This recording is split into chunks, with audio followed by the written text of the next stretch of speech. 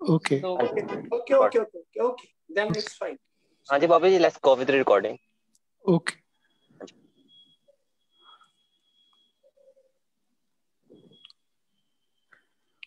Yeah, begin. So, uh, good evening, everyone. Welcome to Satyagraha's talk series, uh, Voices from Punjab and Haryana in the context of farmers' movement.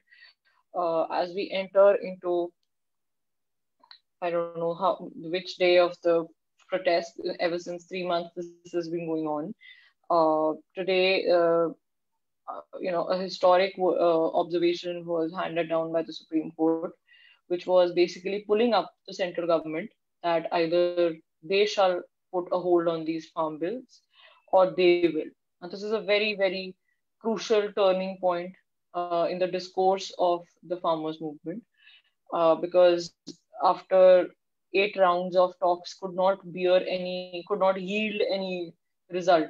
Uh, it is yet to be seen that whether a Supreme Court monitored committee, you know, that can possibly be formed by the central government, uh, can lead to resolving this dispute.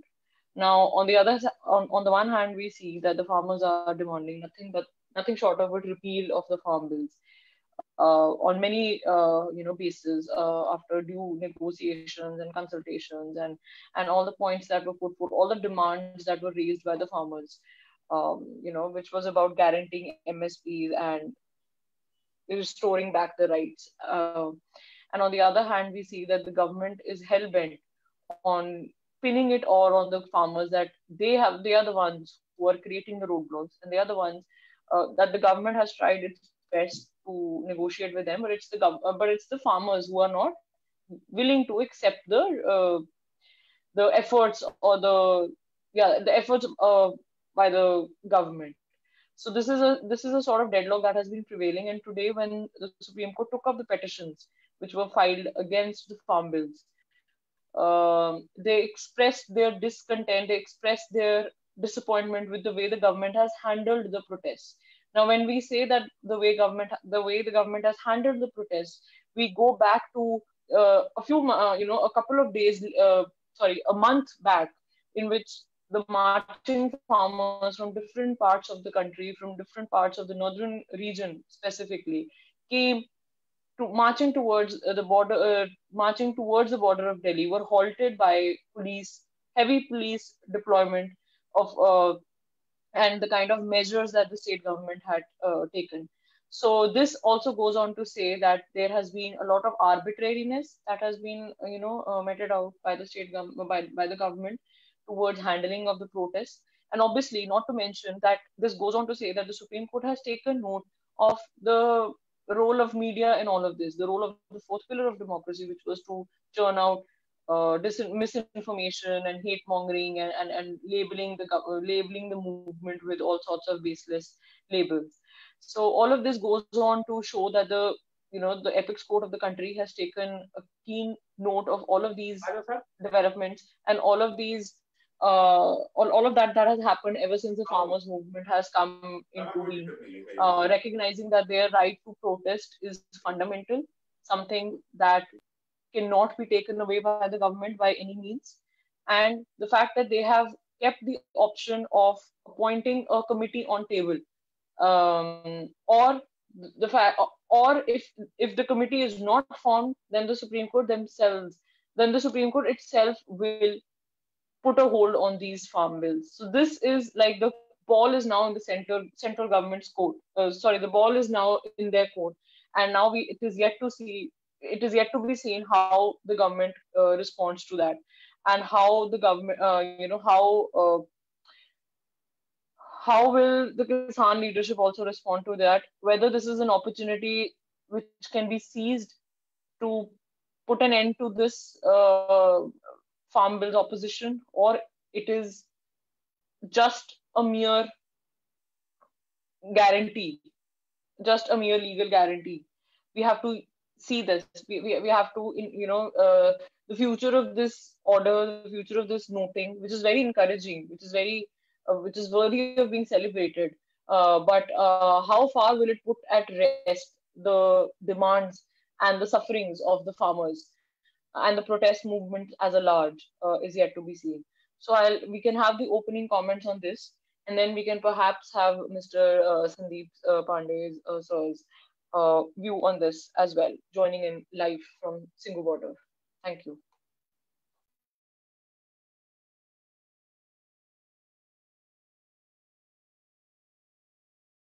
Yes, now whoever wants to speak on this.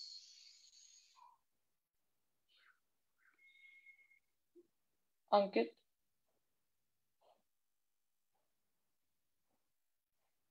Hello. गुलजार साहब आप कुछ बोलना चाह रहे थे शायद? Gulzar Singh ji.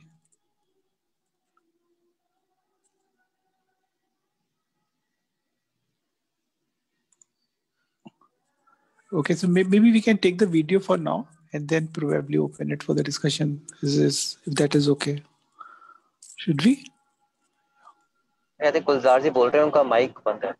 अच्छा अच्छा ओके okay. पब्लिक रिकॉर्डिंग हो रही है ये हाँ हो रही है लाइव जा रहा है मतलब हाँ रिकॉर्डिंग भी गुलजार साहब हम बताएँ uh, am I audible? Yes Gulzar हाँ जी। You are Yeah, thank you. First of all, given me an opportunity to, uh, in continuation to the uh, points which uh, shared by Simran, I totally agreed with her. I think uh, today is a historic day for this farmer protest.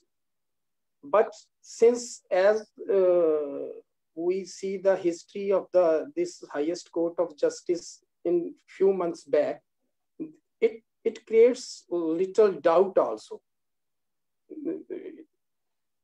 If I am not wrong, this is what happened in the history of the first time it happens in the history of India. The Chief Justice of India, who retired recently within the span of two months, got an opportunity to enter in Rajya Sabha.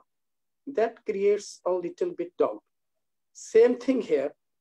What happened today? In one hand, Supreme Court him itself took a notice that either you abolish these laws, otherwise we are going to hold it. Second thing, what we what I think if the Supreme Court did uh, going to hold these laws uh, tomorrow or day after tomorrow, that will be biggest political damage for this uh, NDA-led government. And government never wants this political damage. So there are two aspects. If the uh, if the uh, highest court of justice is entirely federal and impartial, that it's fine.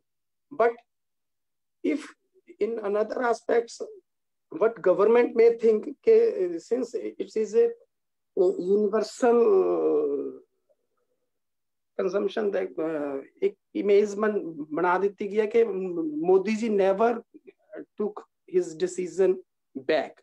So this is maybe the uh, internal policy of the this NDA government that we are not going to withdraw these three uh, laws, but the court did so. So um, let's see tomorrow what the judgment of the court will given. And I, think tomorrow evening when we will again sit together, then we will be in a better position. What will be the future of this movement now. So I think uh, we should be positive and hope so that tomorrow the, the, the, Chief Justice of India will surely hold these three ordinances. Thank you. Yeah, yeah. Thank you so much for your opening comments.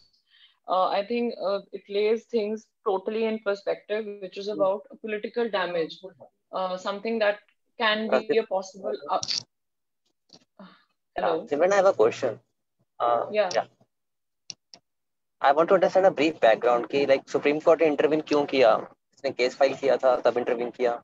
कि, yeah, uh, obviously. Uh, yes, yes. That no, no. There was a petition filed. There was a petition filed long back, which challenged the constitutionality. I'm not sure whether this is the same petition which challenged the constitutionality, but definitely there were a multiple number of cases that were filed. There were a lot of cases that were filed for removal of farmers also from you know um, those places of protest.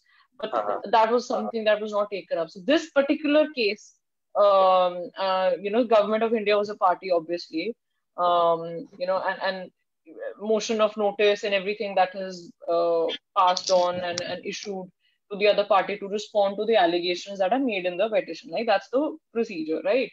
Um, and then uh, why the Supreme Court pulled up the government was, like I already said, they, they expressed their dismay, they expressed their discontent over the way the protests were being handled. And that is a combination of multiple factors, not just the government, but also its machinery, also the institutions and the pillars of democracy, uh, and the lenses, uh, and, and the lenses from which the whole movement was viewed, right?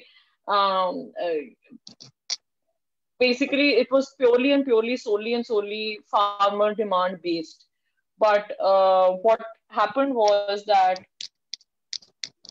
somehow जैसे हमने कल discuss किया था कि जैसे हमने कल discuss किया था कि you know there were a lot of narratives that were created so obviously supreme court has taken note of those and the fact that they have upheld the right to protest as a fundamental right says a lot uh, about the balanced approach that the court has taken. They have not said that they are causing any nuisance or, uh, uh, you know, no disturbance to the highways or roadblocks. And I personally have visited protest sites multiple times, like I said. There is no annoyance or there's no blockage, basically. The farmers are, you know, staying there, protesting there. They've made those roads on which they're sleeping as their homes there's no such thing as nuisance which the government can loosely, loose wordedly use and just, you know, uh, subvert the whole cause.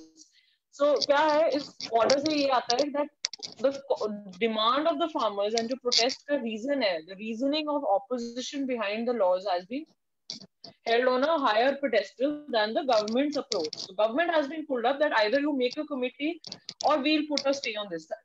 और ये situation तभी आती है when the Supreme Court is giving you two options two urgent options that means it was a very urgent situation uh, you know it's, it's like the tipping point it's not even a crucial stage it is a tipping point. So after this whatever the supreme court tomorrow holds you know uh, that is something that will determine the discourse. ki ye kahan tak chalegi protest?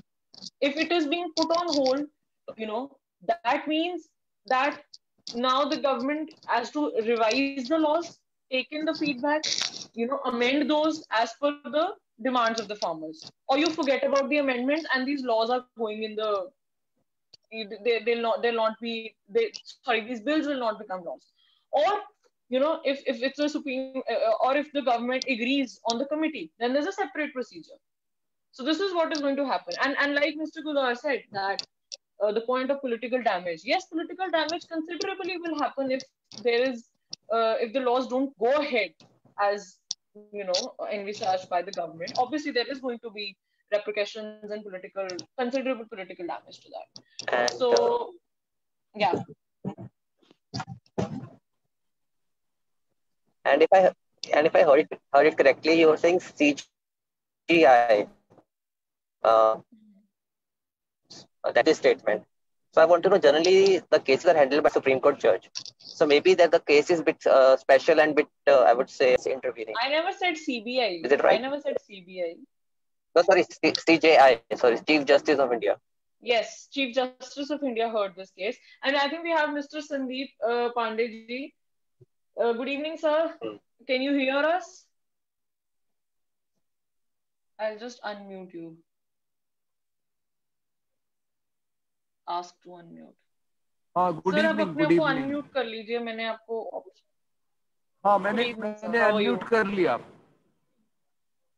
हाँ मैं बढ़िया sir आप Singhu border पे हो? जी। हाँ आज हम Singhu border पे हैं। आ, हम आठ तारीख को पहुँचे अच्छा, थे गाजियाबाद बॉर्डर पे। तो उस दिन हम तीन चार बजे पहुँचे थे तो मैं ज्वाइन नहीं कर पाया लेकिन मेधा जी ने ज्वाइन कर लिया था तो मैंने सोचा कि चलो जब वो ज्वाइन कर रही हैं तो काफ़ी है उनका ज्वाइन करना। और फिर अगले दिन क्या हुआ कि तो मैं मैं भी आज जब हम शाहजहांपुर तो बॉर्ड हाँ आई थी क्या? हाँ मैं एक्चुअली टिकरी बॉर्डर तो, पे गई थी आज उग्राहा वाले साइड वो आज टिकरी गई थी। अच्छा अच्छा अच्छा अच्छा। हम कल टिकरी में थे। या और कल शाम को हम वहाँ से यहाँ I have been to Singhu okay okay okay चलिए हाँ तो यहाँ तो माहौल बहुत अच्छा है। और देख के जो है बड़ा अच्छा लग रहा है जिस तरह से यहाँ पूरी व्यवस्था है। लोगों के जो लोग आ रहे हैं धरने में उनके रहने का इंतज़ाम लंगर का इंतज़ाम यहाँ तक कि साबुन ब्रश तेल मोजे जैकेट तक जो है उपलब्ध कराए जा रहे हैं। कंबल वगैरह सब ओढ़ने के लिए गर्म पानी की व्यवस्था है वॉशिंग मशीन्स है। लेकिन ये जो पूरी व्यवस्था है जो पूरे सिख समुदाय का जो एक एक सेवा की भावना है उनके धर्म के अंदर जिससे लंगर चलते हैं क्योंकि दस प्रतिशत अपनी अपनी आय का सिख समुदाय को लंगर में देना ही होता है और, और लोग देते हैं बड़ी ईमानदारी से और इसीलिए व्यवस्था चलती है। जैसे इस्लाम धर्म में भी ढाई प्रतिशत अपनी कमाई का जक़ात देनी पड़ती है। तो ये जो व्यवस्था सिख समुदाय के अंदर है ये इस पूरे आंदोलन एक तरीके से रीढ़ बन गई क्योंकि इसकी वजह से आंदोलन में आ, ये आ, लोगों में वो जज्बा है कि वो इसको सपोर्ट करते रहें। और आज हम बात कर रहे थे कि जिस तरह से नरेंद्र मोदी या भारतीय जनता पार्टी या राष्ट्रीय स्वयंसेवक संघ ने धर्म का इस्तेमाल किया राजनीति में अब उनको सही जवाब मिला है। कि धार्मिक आधार पे ही अब एक आंदोलन खड़ा हो गया है, जो उनकी पूरी जो सांप्रदायिक राजनीति है, उसका विरोध कर रहा है। उन्होंने तो धर्म को नकारात्मक तरीके से इस्तेमाल किया। एक मस्जिद को ढहा के वहाँ मंदिर बनाने की बात कर रहे हैं, वहाँ मंदिर बनाने की नींव डाली गई है। तो वो तो एक एक नकारात्मक इस्तेमाल था धर्म का, लेकिन यहाँ एक सकारात्मक धार्मिक भावना एक आधार बना है, एक आंदोलन का। जिससे पूरे आंदोलन में एक एक ताकत आई है और आज हम कुछ निहंग सिखों से भी मिले जो अपने घोड़े और भाले लेके यहाँ आ गए हैं और वो कह रहे हैं कि हम इस आंदोलन को हम सुरक्षा प्रदान करेंगे। तो और वो कह रहे हैं कि अगर सरकार यहाँ तोपे भी चला दे तो हम अपने सीने सामने कर देंगे। तो आप सोचिए कि इस समुदाय में अपनी इतनी कुर्बानी का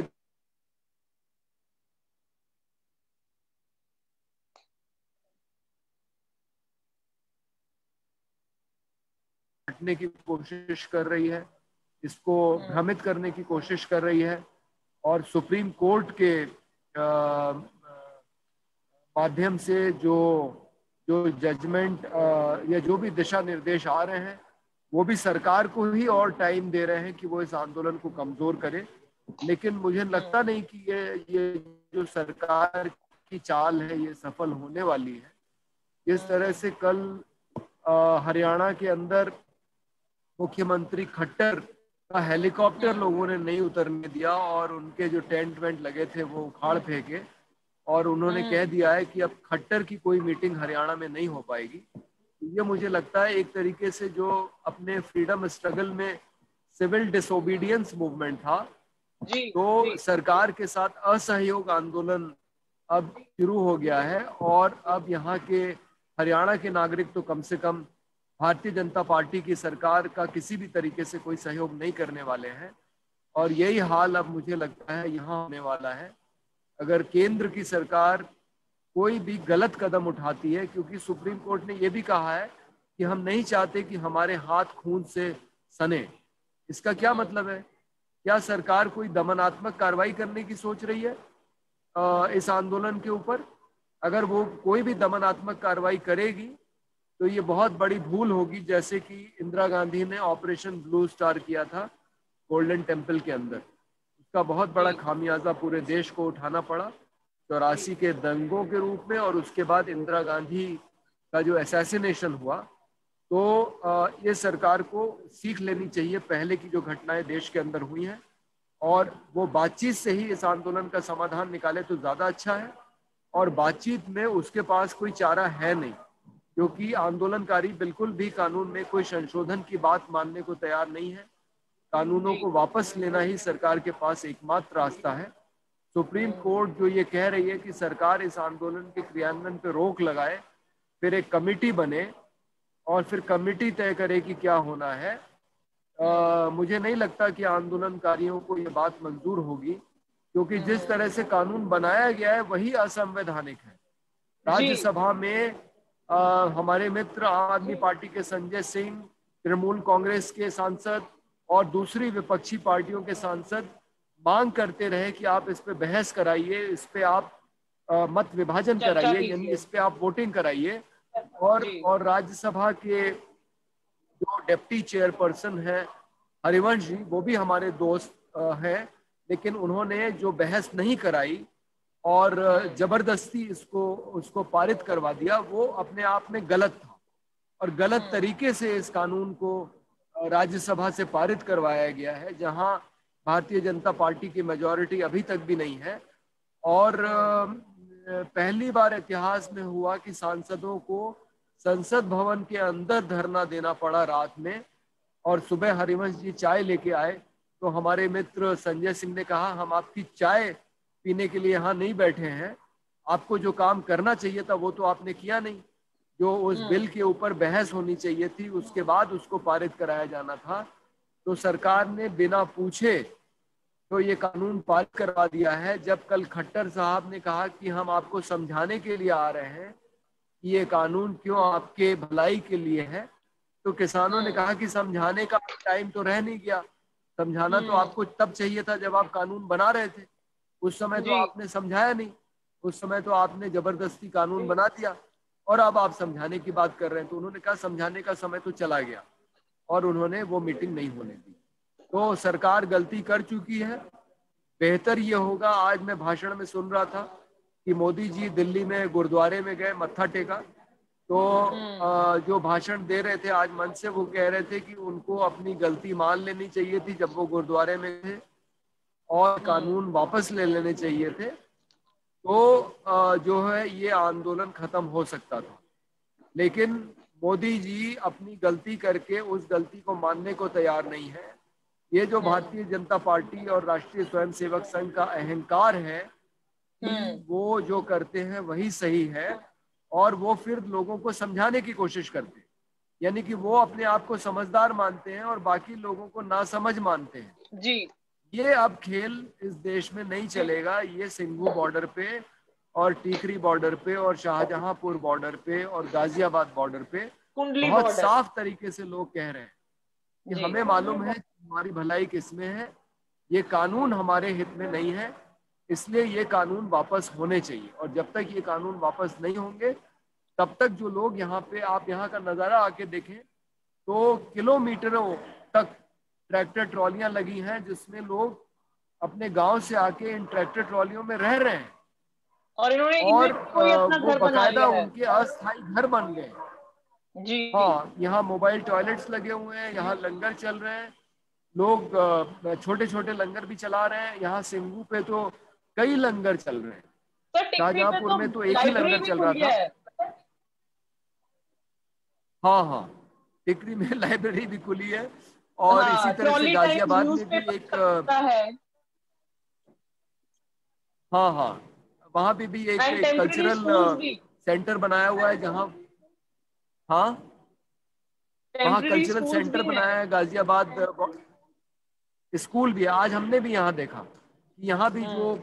जिस बिल्डिंग में हम ठहरे हुए हैं ये ब्रिटिश सिख काउंसिल यहाँ पे एक हार्ट का अस्पताल बना रही है और यहाँ पे छत्तीसगढ़ के साठ सत्तर मजदूर बाहर काम कर रहे हैं छत्तीसगढ़ और बिहार के। उनके जो छोटे छोटे बच्चे हैं, उनको पढ़ाने के लिए यहाँ पे भी एक स्कूल चल रहा है, इस इस धरने पे भी। तो ये एक बहुत बेहतर तरीके से, एक बड़े मानवीय तरीके से ये धरना चल रहा है, जिसमें पूरे के पूरे परिवार आए हुए हैं और वो लंगर बनाने में सहयोग कर रहे हैं। सुप्रीम कोर्ट ने ये भी कहा है कि धरने पे बुज़ुर्ग और महिलाएँ क्यों हैं? हम्म, हम्म। वो चाहते हैं कि बुज़ुर्ग और महिलाएँ चले जाएँ। शायद इसलिए कि सरकार फिर दमनात्मक कार्रवाई कर सके। लेकिन यहाँ पूरे के पूरे परिवार आए हुए हैं। जैसा मैंने कहा वो इसको अपना अस्थाई घर बना लिया है उन्होंने। एक छोटा मोटा शहर बस गया है। और सुप्रीम कोर्ट को अगर इतनी ही चिंता है कि बूढ़े और महिलाएँ यहाँ कड़ाके की ठंड में क्यों आके बैठे हुए हैं तो सुप्रीम कोर्ट को हस्तक्षेप करना चाहिए था। और इन हम्म। कानूनों पे रोक लगानी चाहिए थी। लेकिन वो ये काम करने के बजाय वो सरकार से कह रही है कि रोक लगाइए। और उसने हम्म। ये कहा है कि अगर सरकार नहीं लगाएगी तब वो हस्तक्षेप करेगी। लेकिन हमें इस सुप्रीम कोर्ट से कोई उम्मीद नहीं है क्योंकि ये वही सुप्रीम कोर्ट है जिसने नोट नोट बदली होने दी देश के अंदर। मैं उसको नोट बदली कहता हूँ क्योंकि हज़ार रुपए का नोट नोट वापस लेके आप दो हज़ार रुपए का नोट ले आए। और ये आप किसी भी इंसान से पूछ लीजिए कि भ्रष्टाचार करना छोटे नोट से आसान है कि बड़े नोट से आसान है? आपको अगर किसी को घूस देनी हो तो बड़े नोट आप एक सूटकेस में लेके जा सकते हैं और उतनी ही रकम आपको अगर छोटे नोट में ले जानी होगी तो आपको पूरी गाड़ी भर के नोट ले जाने पड़ेंगे। तो एक हज़ार के बजे दो हज़ार का नोट लाके आपने तो भ्रष्टाचार को बढ़ा दिया। हर एक चुनाव के पहले बाज़ार में दो हज़ार नोट का नोट गायब हो जाता है। तो आपने तो कहा तो था कि भ्रष्टाचार रोकने के लिए आप लाए हैं नोटबंदी, लेकिन वो तो आपने भ्रष्टाचार को बढ़ा दिया। और आप पूछ लीजिए कहीं पे भी, जो भी भ्रष्टाचार होता था सरकारी महकमों में सब चल रहा है, बढ़ गया है पहले से।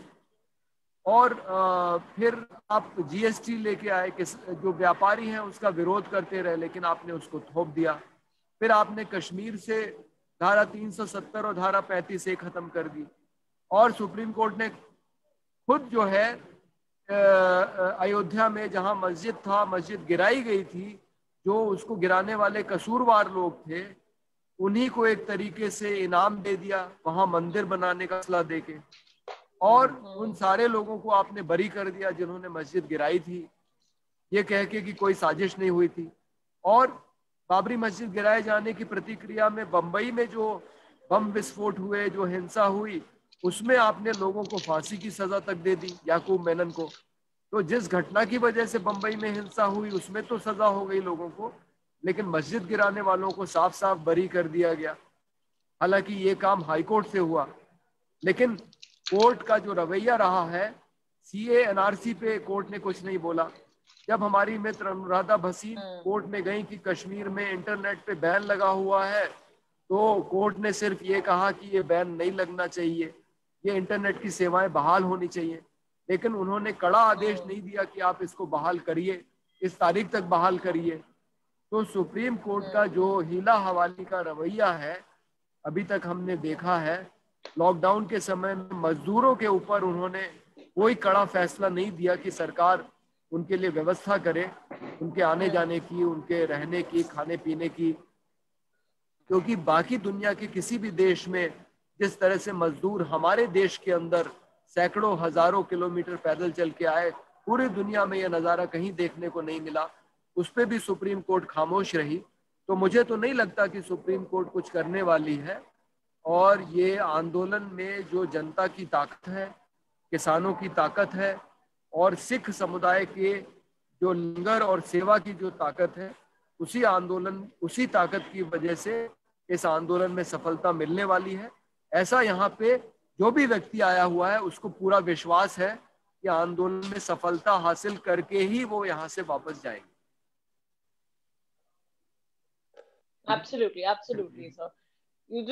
ठीक है मेरी बात पूरी हो गई। आपको या और अगर कहना चाहे।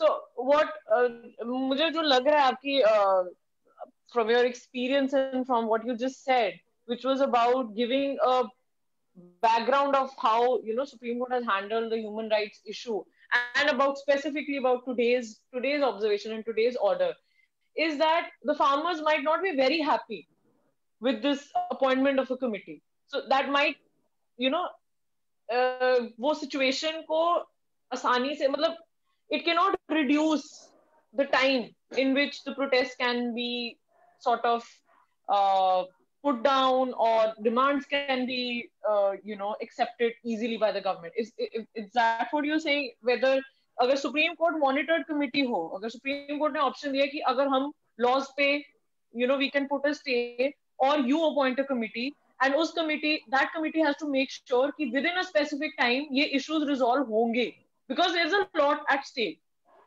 you know uh, the fact that there's so many people who are there and and, and uh, so what are your views on this? नहीं नहीं आपकी बात सही है। सुप्रीम कोर्ट को यही करना चाहिए कि हम्म। वो आ, कानूनों पे रोक लगाए क्योंकि वैसे भी वो कानून गैर संवैधानिक तरीके से पारित किए गए हैं। वो जायज़ कानून है ही नहीं जायज़ तरीके से नहीं बनाए गए और फिर जैसा आपने कहा कि अगर कोई कमेटी बननी भी है तो वो सुप्रीम कोर्ट की मॉनिटरिंग में काम करे हालाँकि हम्म। ये फैसला जो आंदोलन की कमेटी है उसको लेना है जो सरकार के साथ डायलॉग कर रही है हम्म। तो आ, मुझे नहीं मालूम कि वो इस पे क्या फैसला लेंगे लेकिन उन्होंने इतना फैसला ज़रूर लिया है कि देखिए जो कोर्ट गया था वो आंदोलन वाले लोग कोर्ट नहीं गए थे वो तो कोई लॉ हम्म। स्टूडेंट है जो कोर्ट चला गया था और वो ये पेटिशन लेके गया था कि जो सड़कें जो जाम है उनको खाली कराया जाए। हाँ, तो मैं कोर्ट ने साफ़ जी जी। तो आंदोलन वाले तो कोर्ट गए नहीं थे। अब ये बात हम्म। दूसरी है कि बट देर पर बट देर मल्टीपल शामिल संगठन है उनको पार्टी बना लिया। हम्म। कई बार ऐसा होता है कि हम किसी केस में पार्टी बनना चाहते हैं और कोर्ट हमें पार्टी नहीं बनाती है।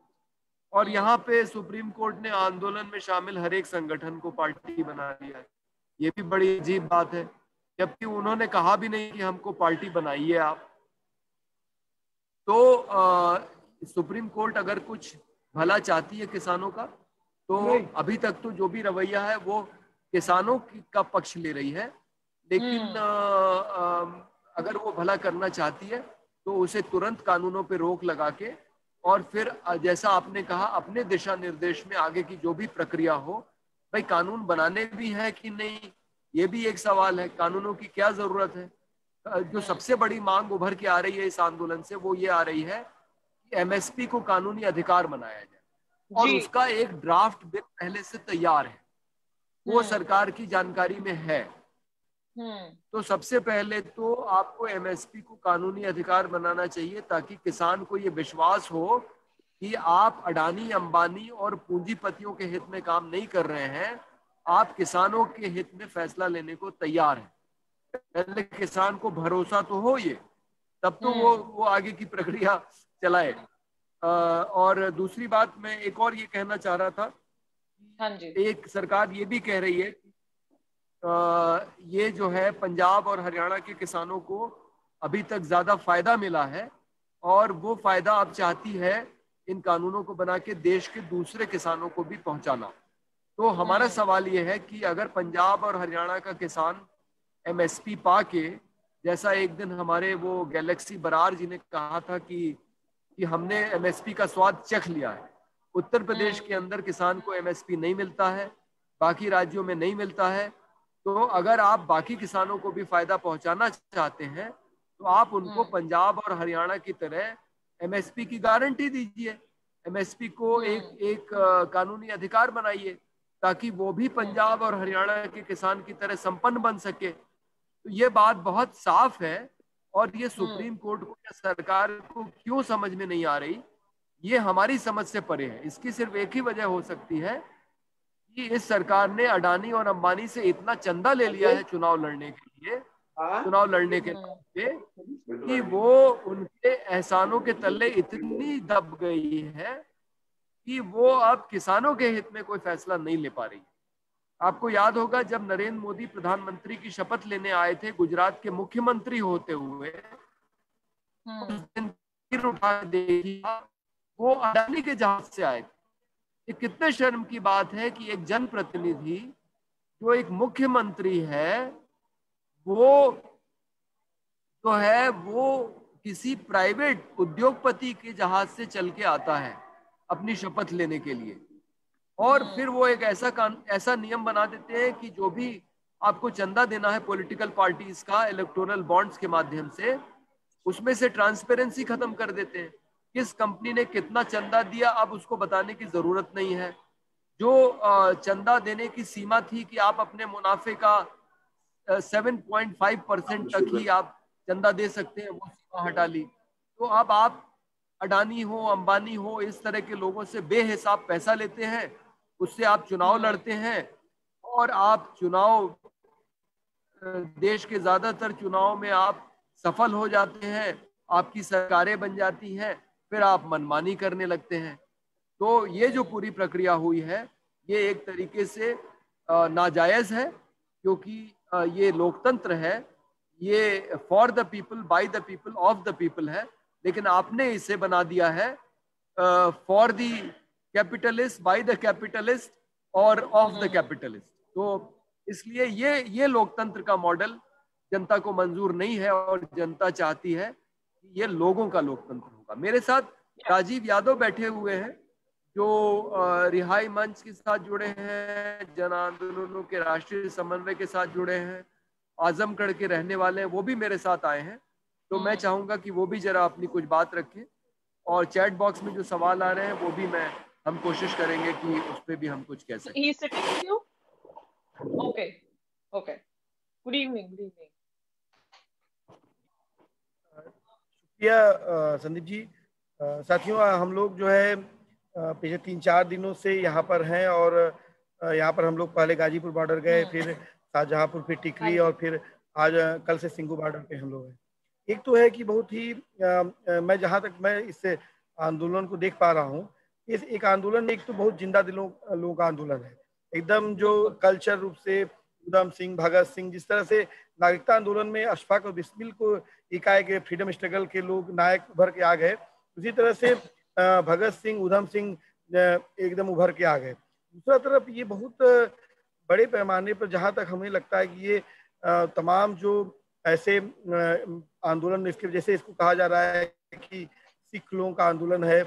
इसके पहले जब दो अप्रैल दो हज़ार अठारह को एस सी इसी सुप्रीम कोर्ट में कमज़ोर करने का प्रयास किया गया था उसका तो लोगों ने कहा कि दलितों का आंदोलन है। उसमें तेरह नौजवानों की राजस्थान और उत्तर प्रदेश में शहादत हुई। उसके बाद उन्नीस दिसंबर को, बीस दिसंबर को नागरिकता आंदोलन में तेईस नौजवानों की शहादत हुई। यूपी में उसको कहा गया, बाद में पूरा सी एन आर सी को कहा, मुस्लिम मुस्लिमों मुस्लिमों का आंदोलन है।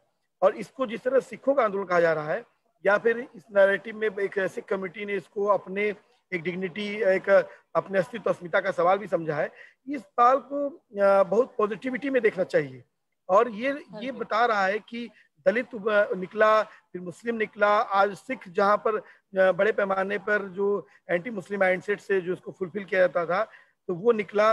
वो बता रहा है कि भारत में एक बड़े आंदोलन की तरफ़ एकजुटता और बॉर्डर बन रही है।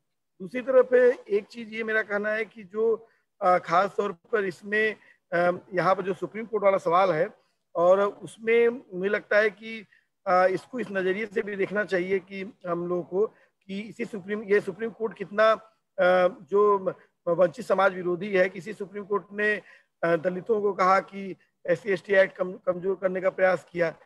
जब दलित उसके ऊपर इंसाफ पसंद लोग निकले तब जाकर तेरह नौजवान हमारे मार दिए गए तब ये सुप्रीम कोर्ट उसको पीछे गया और सरकार बाद में अध्यादेश लाई। इसी सुप्रीम कोर्ट ने थर्टीन पॉइंट रोस्टर को जो ओबीसी का रिजर्वेशन का बड़ा सवाल था जैसे कि प्रतिनिधित्व का सवाल था उसमें आ, सरकार ने नहीं इसी सुप्रीम कोर्ट ने किया। उसके खिलाफ भी बड़े पैमाने पे भारत बंद हुआ। उसके बाद आ, आया।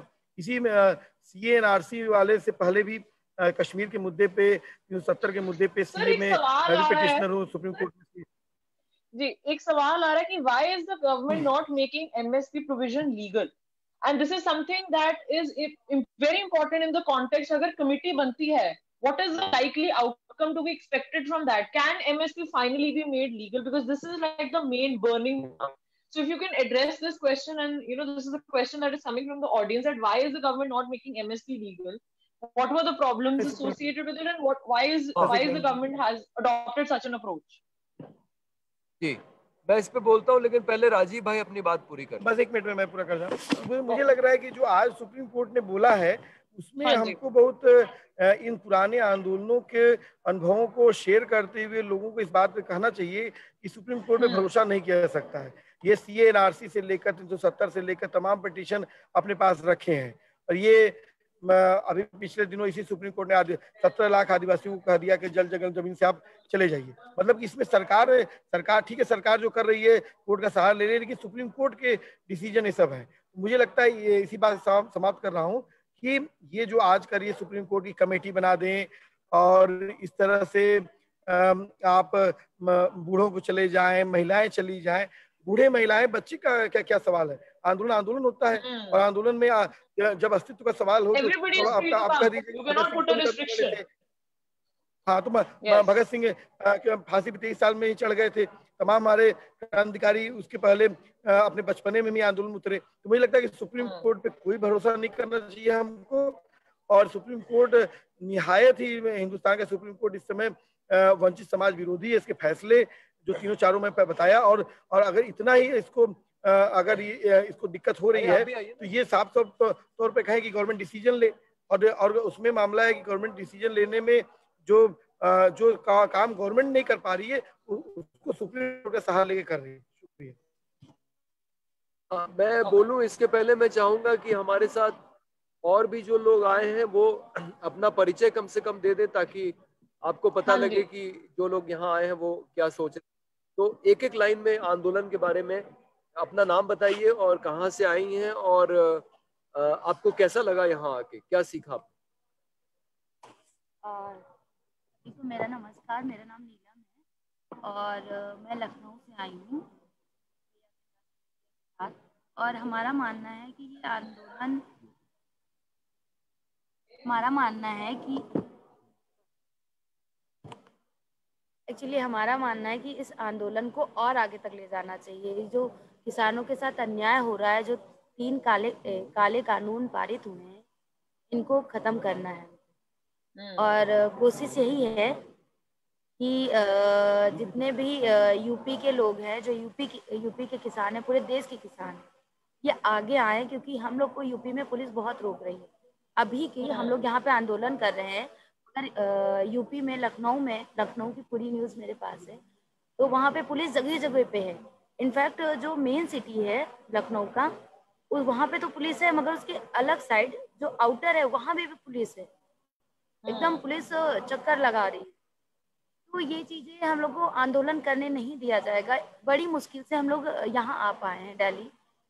तो कोशिश है और ये जो पंजाबी लोगों का है। हर हाँ। प्रोवाइड कर रखा है साथ। तो हम अपनी बात यहीं तक ख़त्म करेंगे। आ, अभी ये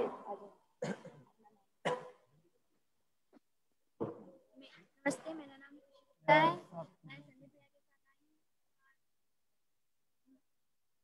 मैं कैसा लग मैं यहाँ पे तो अच्छा है पर किसानों के लिए लिए ये काले तीन काले कानून रद्द किए जाए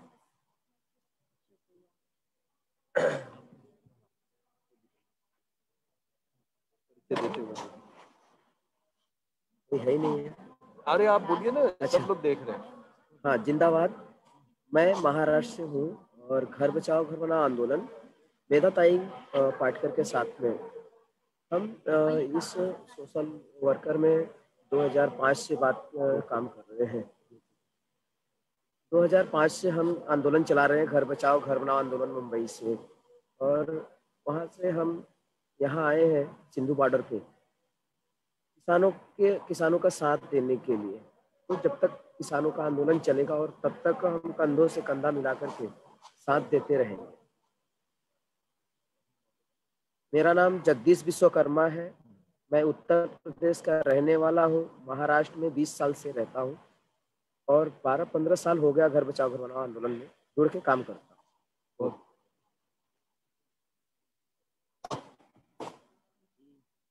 मैं उत्तर प्रदेश से, अमित मौर्य जिला बाराबंकी से और सोशलिस्ट पार्टी इंडिया की तरफ़ से संदीप भैया जी के साथ में आया ठीक है अब मैं जो एमएसपी की बात आई थी कि क्या एमएसपी को लीगल राइट बनाया जा सकता है इस पे बोलता हूँ। देखिए इस देश में हाँ बहुत सारी चीज़ें पहले लीगल राइट नहीं थे। एजुकेशन हमारा फंडामेंटल राइट नहीं था।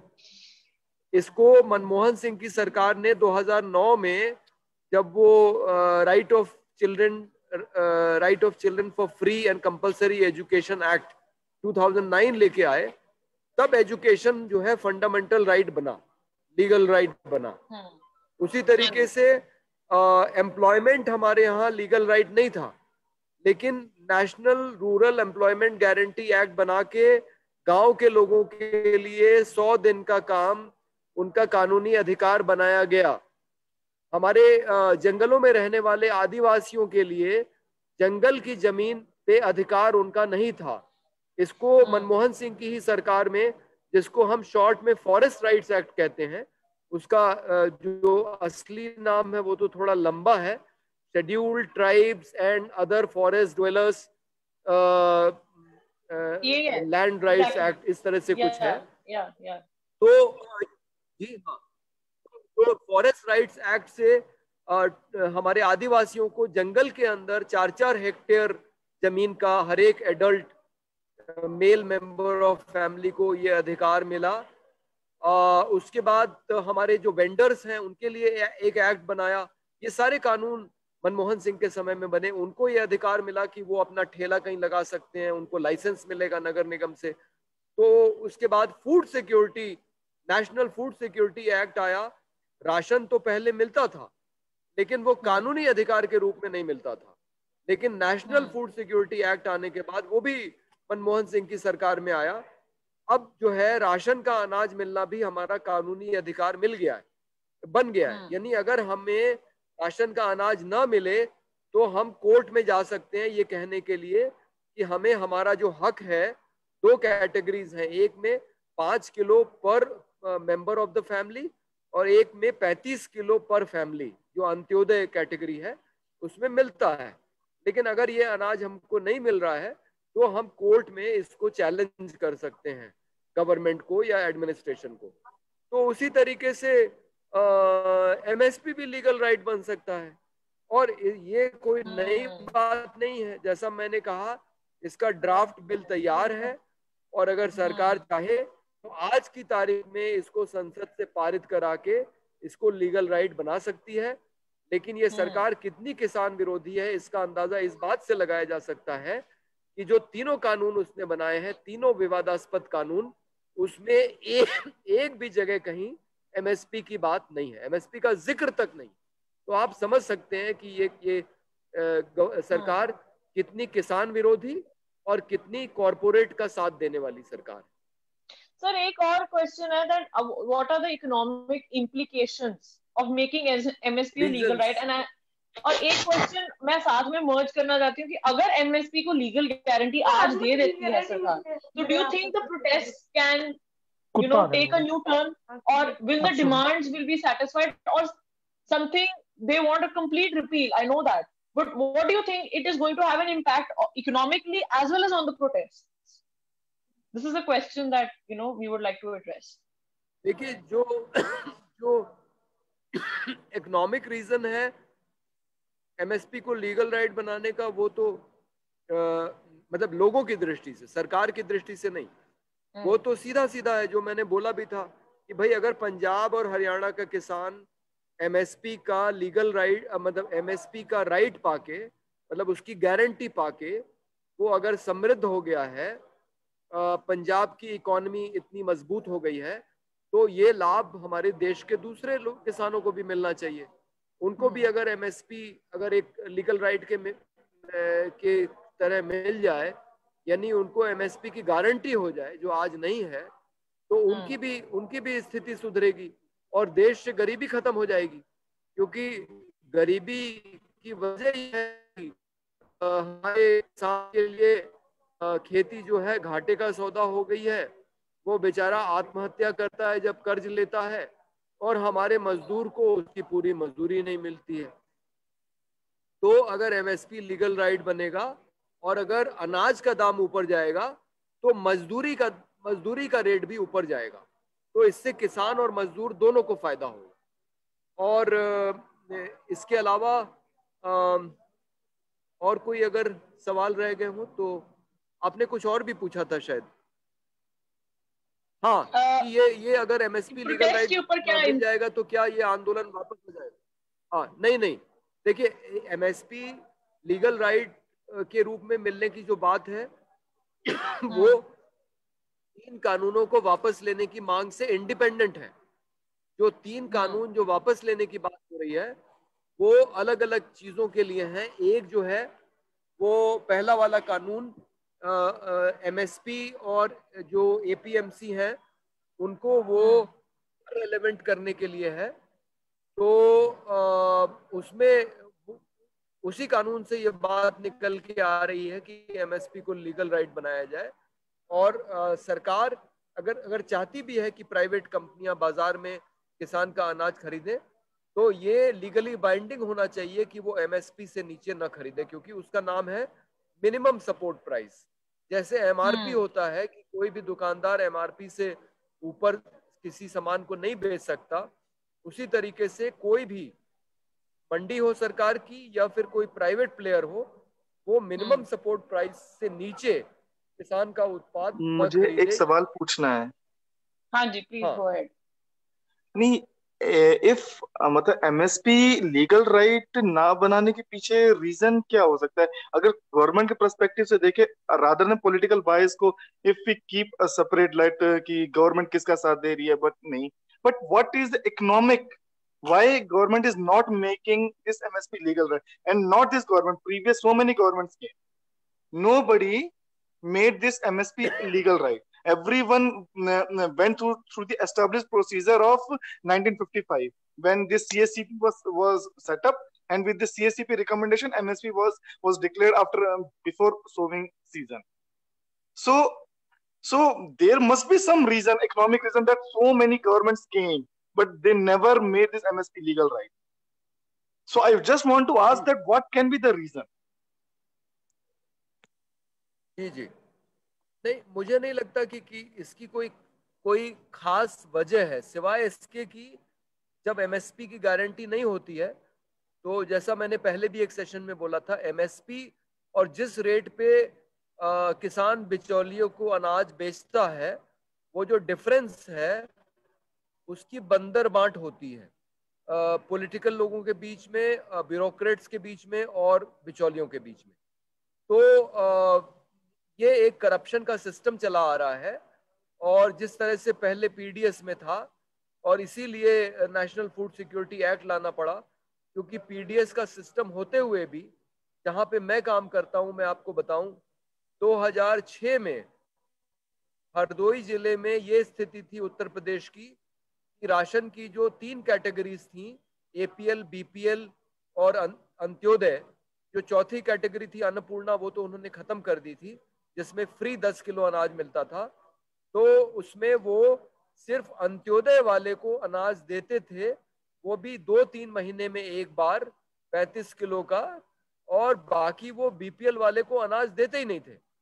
तो करप्शन की वजह से वो अनाज लोगों को नहीं मिलता था, इसलिए उसको फ़ूड सिक्योरिटी एक्ट के रूप में लाया गया। और वो एक जनता की मांग थी, उसके ऊपर कई आंदोलन हुए, तब उन्होंने इसको लीगल राइट बनाया।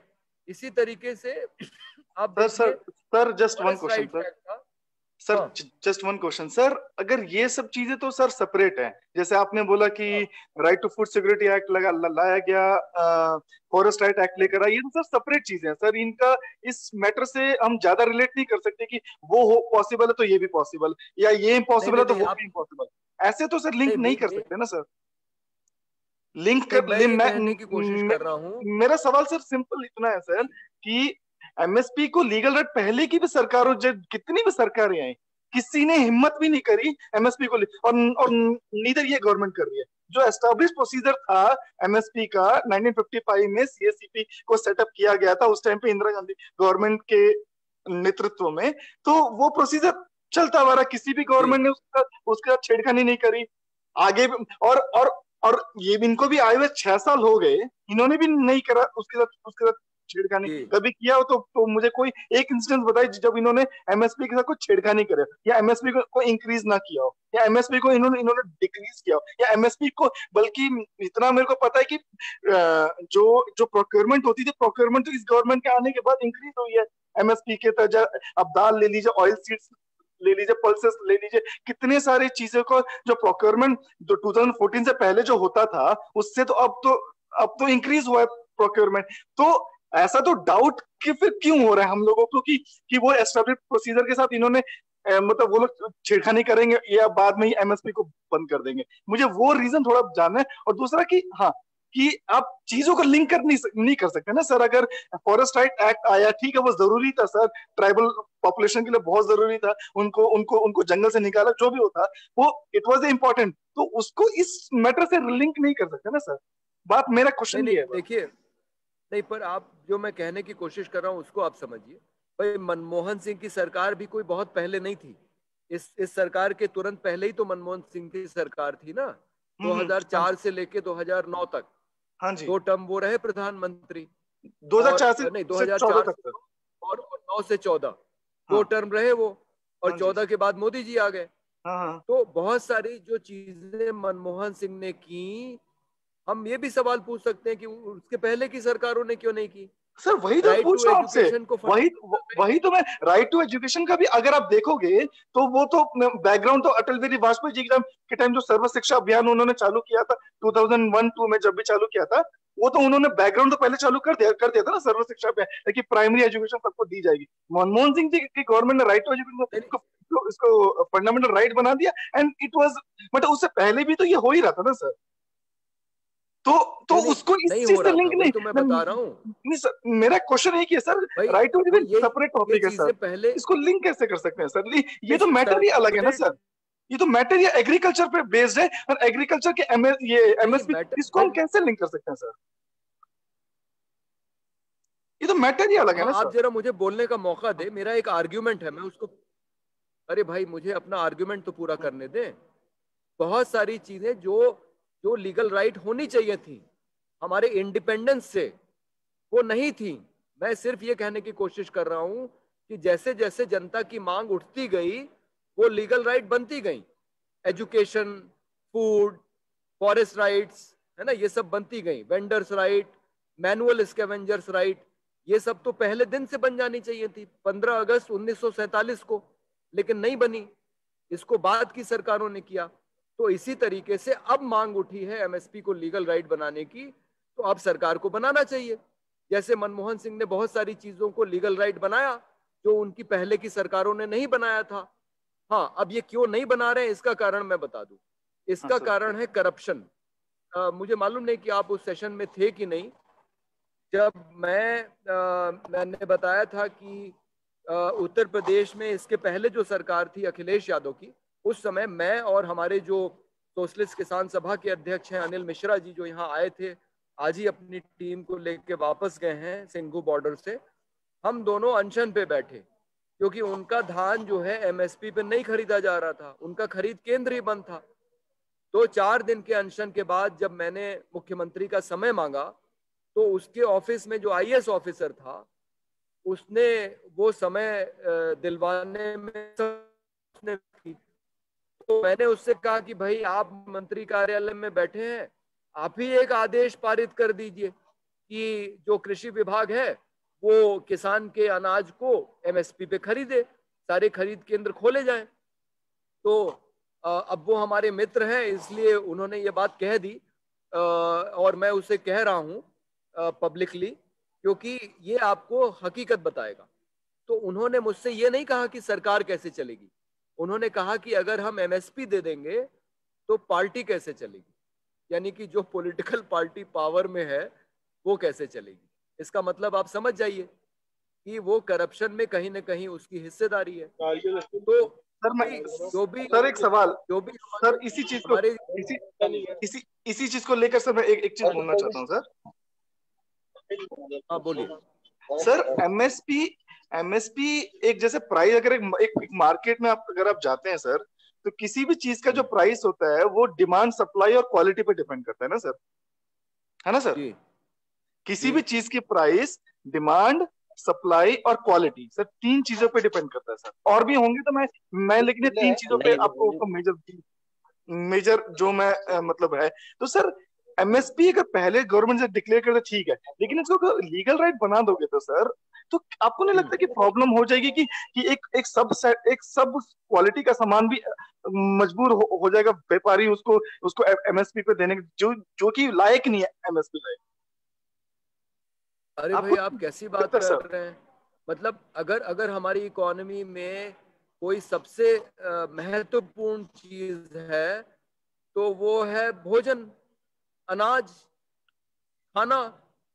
अगर वो उसको पैदा करने वाले को आप अगर ये गारंटी नहीं दोगे कि कम से कम वो जितनी, जितना वो खर्चा कर रहा है, उसकी लागत तो निकल आए, उसे कम से कम कुछ और पैसे मिल जाए ताकि वो अपना परिवार चला सके, अगली फ़सल ले सके। वो अगर आत्महत्या करने को मजबूर है, देखिए किसान की ईमानदारी देखिए कि वो जब कर्जा लेता है तो वो अगर उसको अदा नहीं कर पाता है तो वो आत्महत्या करने को मजबूर होता है। और कोई अगर जो पूंजीपति है, वो अगर बैंक से कर्जा लेता है तो वो उसको नॉन परफॉर्मिंग एसेट डिक्लेयर करा के अपना कर्जा माफ़ करवा लेता है, या फिर वो पैसा लेके भाग जाता है, विजय मल्ल्या की तरह, नीरव मोदी की तरह।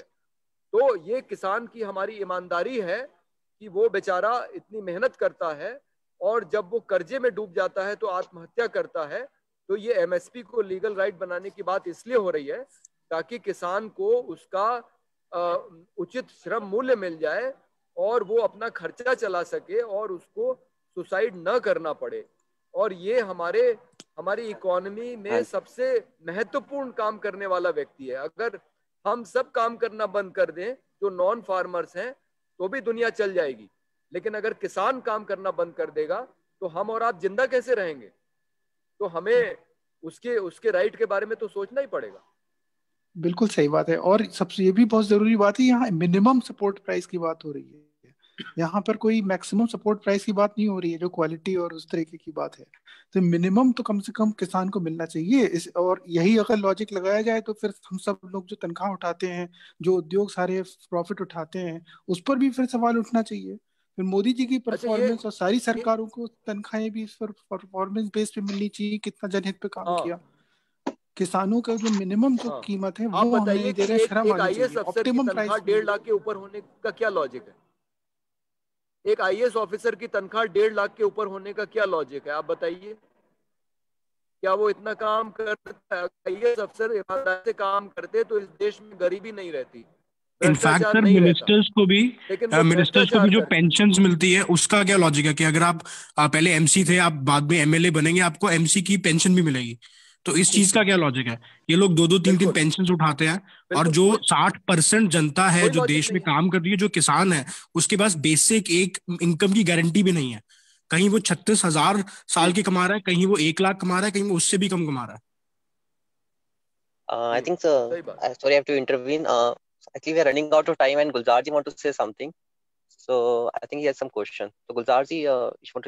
से आपका माइक टर्न ऑफ़ है।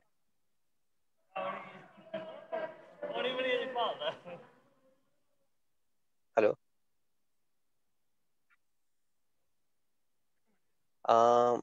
I think if you anyone wants to say anything we can take last question then we have to conclude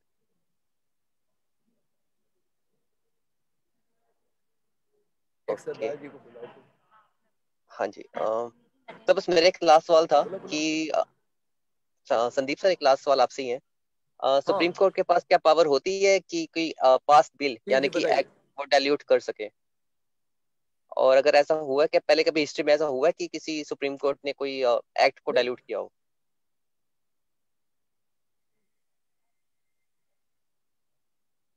हाँ हाँ ये देखिए अपनी बीजेपी सरकार ही जजों के अपॉइंटमेंट के लिए एक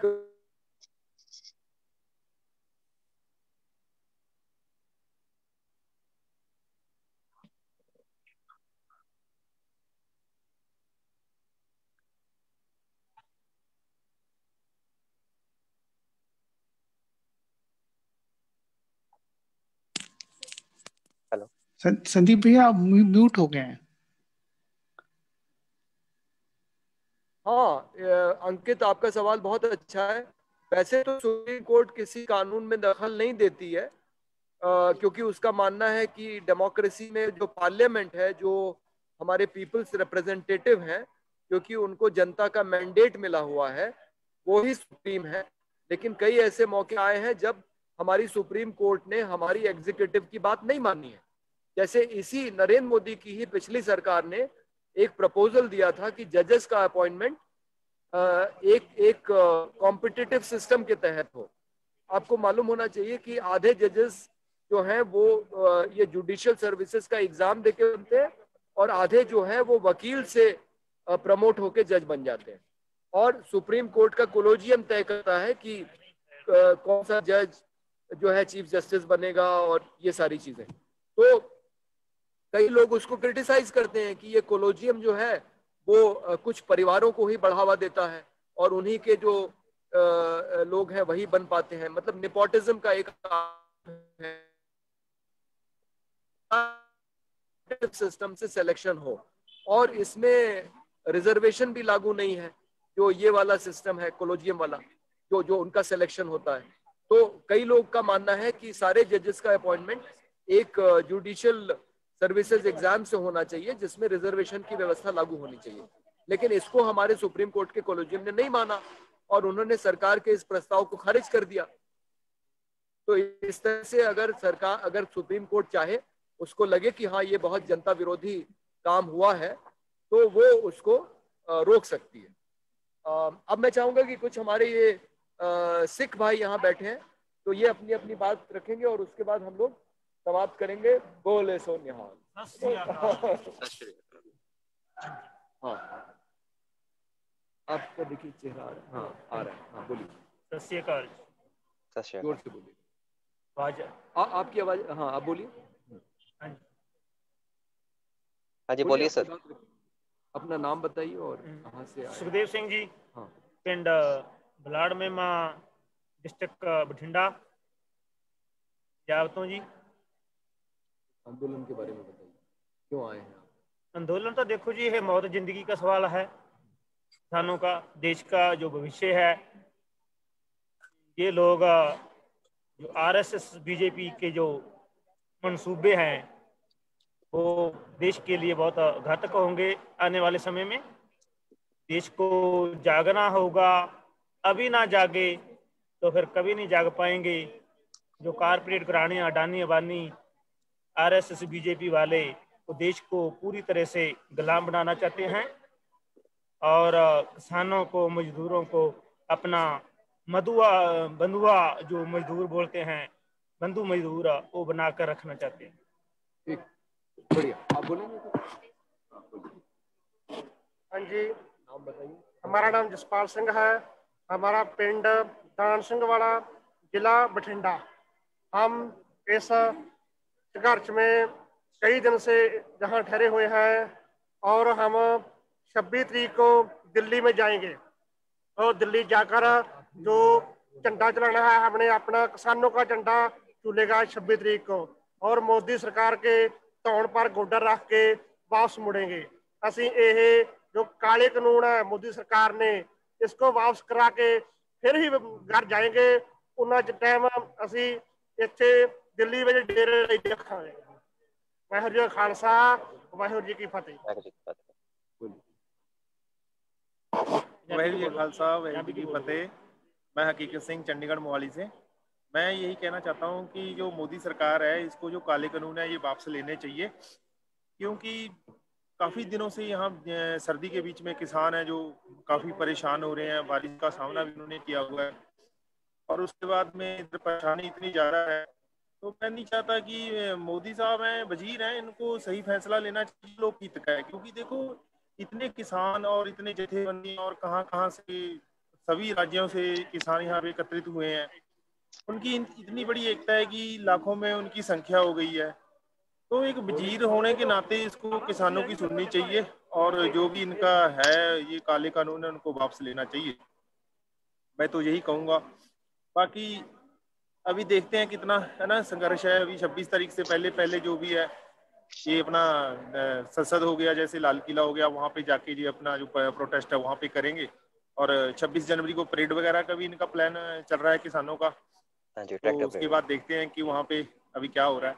बस यही कहना चाहता हूँ कि देखो कोई ऐसा दौर ना आ जाए है ना। तो है तो ये देश के नागरिक ही हैं और देश के ही किसान है। ऐसा तो है नहीं है कि पाकिस्तान से जहाँ कहीं और देश से आ गए हैं।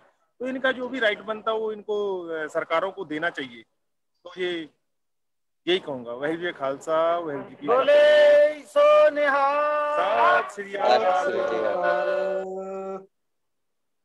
Uh, I think Gulzar ji wants to say something. Gulzar ji, please. हाँ, thank you, thank you, sir, thank you. Uh, Mr. Pandey, am I audible? Auntie, you are audible. Uh-huh, you are audible, yes. Uh, first of all, let me introduce myself. Myself, Gulzar Singh, and I am working as a librarian in Jawahar Navodaya Vidyalaya, Batinda. Auntie, auntie.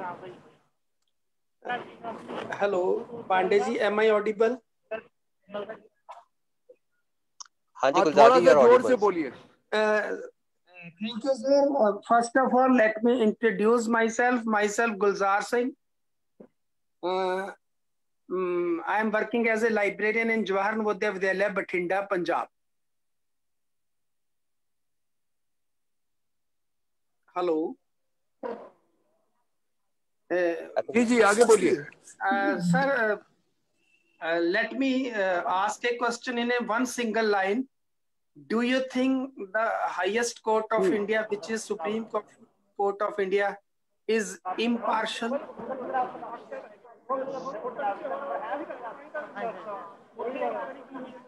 आ, नहीं इसका जवाब तो मैं पहले ही दे चुका हूँ कि मुझे नहीं लगता कि supreme court of India impartial है। अगर वो इम्पार्शियल होती तो अब तक वो किसानों ये जो कानून बनाए गए हैं इस पे वो रोक तो लगाई देती इस पे स्टे कर देती वो। स्टे दे देती और फिर सरकार से कहती कि आप किसानों के साथ बात करके आप पूरी प्रोसेस फिर से चलाएँ। और जैसा सिमरन ने कहा वो कोर्ट मॉनिटर्ड प्रोसेस होनी चाहिए थी क्योंकि सरकार पे अब किसी को भरोसा नहीं रह गया। बिल्कुल sir the recent example of previous chief justice of India Ranjan Gogoi is in front of us how he got an opportunity to enter in Rajya Sabha. Uh, second uh, तो मुझे लगता है कि पहले दिन से जब uh, किसान नेता बात करने के लिए केंद्र के पास गए तो केंद्र ने कहा कि यू डू वन थिंग एक आप पाँच मेंबरी कमेटी अपनी बनाओ और हम बनाते हैं then process of dialogue will continue तो हमारे जो किसान नेता ने उन्होंने बहुत ही समझदारी का परिचय देते हुए कहा कि, वाई डायलॉग हमने डायलॉग करना ही नहीं। हम चाहते हैं कि ये जो these three ordinance are tot entirely against the true spirit of the constitution of India आप इसे वापस लीजिए। अब जो मुझे आई मे बी रॉन्ग मैं गलत भी हो सकता हूँ मुझे लगता है कि जो जो एनडीए गवर्नमेंट की थिंकिंग थी when they failed to implement by themselves they, now they are trying to getting through the judicial system क्योंकि हम सभी जानते हैं कि कोर्ट को किसी भी लॉज को डायरेक्टली क्वेश करने का राइट नहीं है। वो जो कि अगर सरकार कानून लाई है, वही वापस ले सकती है। मगर कानून उसे होल्ड कर सकती है, मगर उसे खत्म नहीं कर सकती। तो मुझे ये लगता है कि वो सब होल्ड कर देंगे। Then they will given opportunity to both the parties सरकार अपना पक्ष रखेगी, किसान यूनियंस अपना पक्ष रखे। ये एक आंदोलन को भटकाने का विषय मुझे ज़्यादा लग रहा है, जबकि मुझे लग रहा है कि जैसे दूसरे साथी कह रहे हैं कि ये अच्छा है, मगर मैं ऐसे नेगेटिव देख उससे ज़्यादा देख रहा हूँ। हाँ जी sir.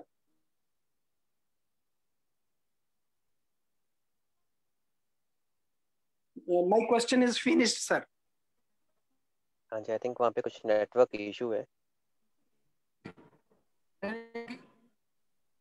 हाँ हाँ।